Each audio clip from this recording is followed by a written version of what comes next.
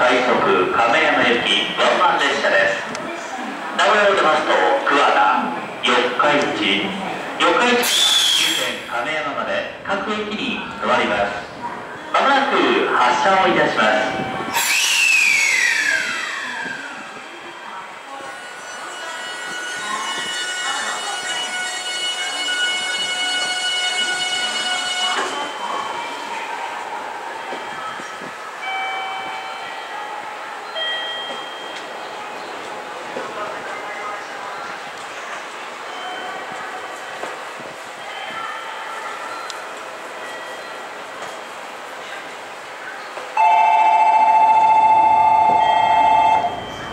12番線から列車が発車します。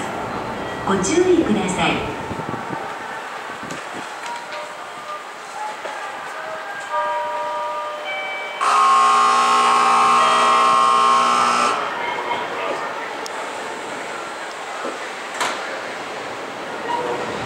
13番線の列車は14時16分発。新列車四日市行きです。